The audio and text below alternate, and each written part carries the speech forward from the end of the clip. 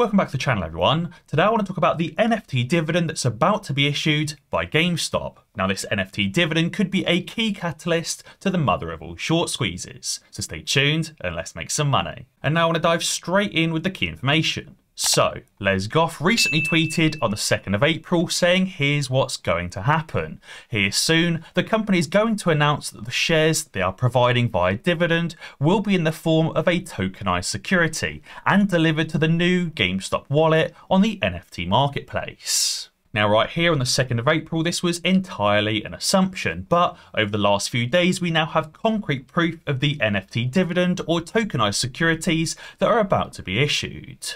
Les recently received an email that says, Dear Sir or Madam, Thank you for contacting Computershare, the transfer agent for GameStop Corporation. We appreciate the opportunity to be of service directly to you. GameStop is still preparing to release a non fungible token, NFT. The shareholders will be notified once it's declared. It says, should you have any other account related questions, please call us at 800 522 6645 during regular business hours. Please note that any available representative can assist you. Now, as soon as this email was received and posted, a lot of people were quick to jump on the train and call it fake or call it FUD and say this never actually came from Computershare. Originally, it was marked as debunked because nobody that worked for Computershare could confirm the legitimacy of the email. But again, over the last few days, it's now been confirmed that the email was indeed real and it was directly from Computershare. And now, with more context and confirmation of a dividend or split, it's definitely plausible. As an update, it says the email is real. The user just got a call back from the supervisor at Computershare who 100% confirmed that the email itself is from Computershare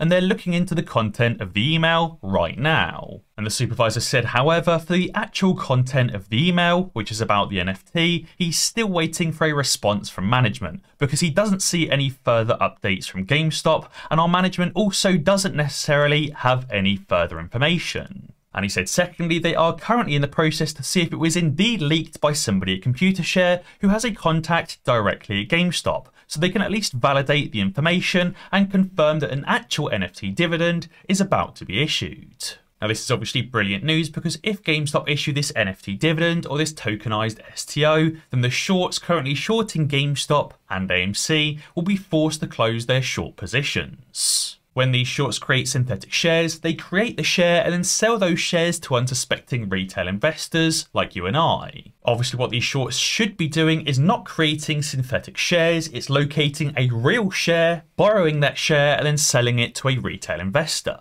But obviously what they're actually doing is creating additional synthetic shares on top of the float and then selling those to the unsuspecting retail investors like you and I. Now when GameStop issues this NFT or this STO, they will total the number of shareholders and the number of shares in issue and factor in on top of that the additional shares that have been borrowed and lent out and sold to additional retail investors because obviously for every one share that's shorted, that share has a true owner, that share is then borrowed from the true owner and sold to a secondary owner. Therefore, for every one share that is currently shorted, there's technically two owners, the owner of the rightful share and the owner of that same share that's been shorted. Therefore, when GameStop issues this NFT dividend, they'll take the total number of shares in the float and then add on the additional number of shares shorted legally on top of that. They'll then create the NFTs or STOs and then distribute them appropriately. But obviously due to the millions and millions and potentially billions of synthetic shares that have been created on top of that, there'll be a massive mismatch between the number of NFTs or STOs produced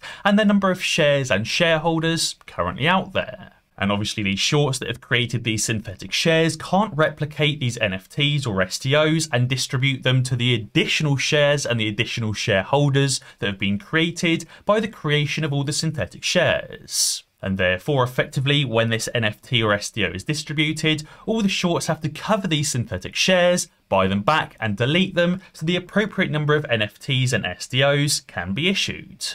Now, obviously, this will also impact AMC as well, because even though AMC aren't issuing an NFT dividend or an STO offering right now, all of the shorts will still have to cover their GameStop shorts. Obviously, when all of these shorts close out of their GameStop short positions, it will cause the mother of all short squeezes, and many of these hedge funds will end up being liquidated.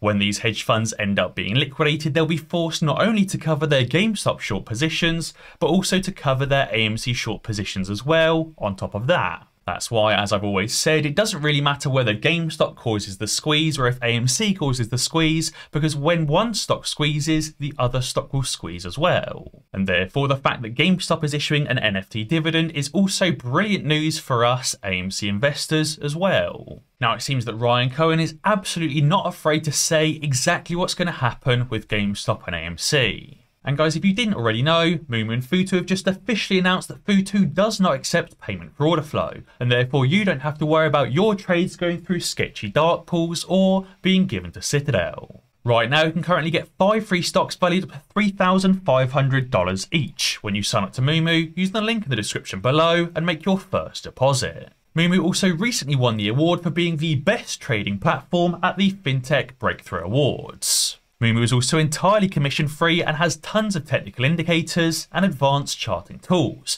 Moomoo publishes daily short selling data, position cost distribution, and much, much more. Moomoo is also incredibly easy to use and is very customizable. So guys, be sure to sign up to Moomoo using the link in the description below to get up to $17,500 in free stocks. The other day, Ryan Cohen tweeted a photo of a baby during an ultrasound and said the last time people were excited to see me was during the ultrasound scan. Now, if you didn't already know, this is exactly what an ultrasound wave looks like, courtesy of Wikipedia. Now, this chart of the ultrasound wave looks very, very similar. An unusual investor managed to put his finger on it. This chart of the ultrasound wave looks almost exactly like the Volkswagen squeeze chart back from 2008. And this morning, Ryan Cohen also tweeted saying, You know what happens when I eat too much fruit? And the answer to this question is you get the runs. And therefore, it looks like Ryan Cohen is saying that GameStop is absolutely ready to run and is going to replicate this ultrasound chart or the Volkswagen squeeze chart. I think this is basically as close as Ryan Cohen can possibly get to saying that GameStop is about to squeeze without actually saying it, because obviously that goes against all of the SEC and FINRA regulations. And we know that even though the SEC and FINRA don't come down on the shorts for all of their illegal market manipulating activity, what they do come down on is CEOs trying to pump their stock.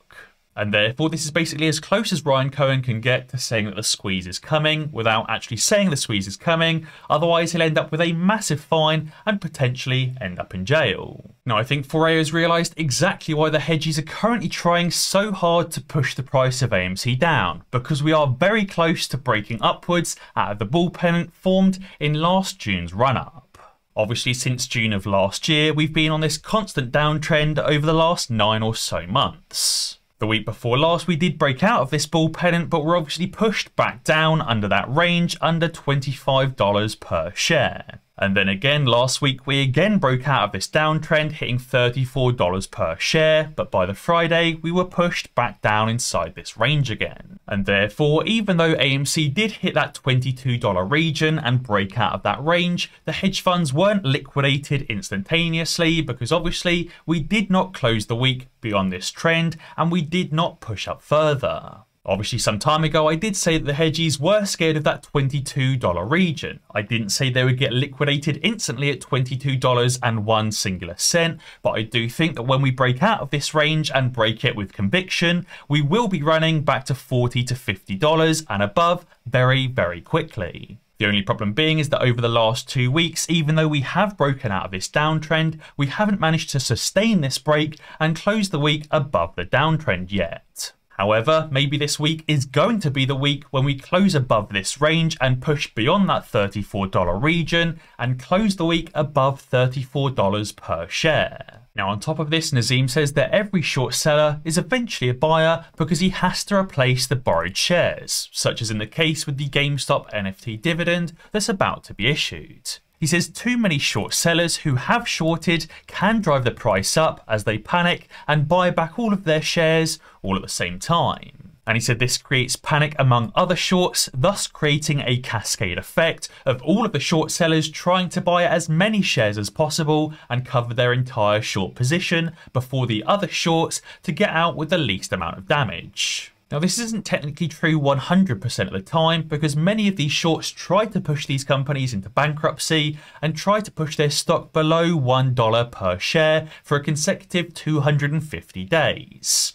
If they can push a stock below $1 per share for a consecutive 250 days, they can get the stock relegated to the OTC market, which makes it very, very difficult for retail investors to buy the stock. But obviously, if they can push AMC and GameStop below $1 per share for a consecutive 250 days, then they will technically have won because AMC will be relegated to the OTC exchange and effectively we won't be able to buy more shares. The reason why they haven't done this yet is because they can't, and in fact, they are in very, very dangerous areas because we're about to break above this downtrend and push AMC past its previous highs. And obviously, because the shorts are losing, when AMC is pushed above this downtrend and closes above the downtrend, AMC will likely push back towards $50 and above very quickly, which will cause the shorts to panic, and many shorts may try and cover their positions and get out before the other shorts. And as Nazim says, this effectively causes a cascade effect because all of the shorts end up stumbling over each other, trying to close their short positions before the other shorts so they can get out with the least amount of damage. Obviously, the first short to the exit door wins because they don't end up going bankrupt, but all of the shorts after that, especially the last shorts to reach that exit door, are guaranteed to be bankrupt and forced to close out of their positions. Guys, be sure to let me know down in the comments below what you think about the NFT dividend that's about to be issued by GameStop. And as always, guys, if you enjoyed this video, be sure to check out some of my others. Alternatively, subscribe to the channel and ding that notification bell, because that way you'll be alerted when I upload a new video. Cheers.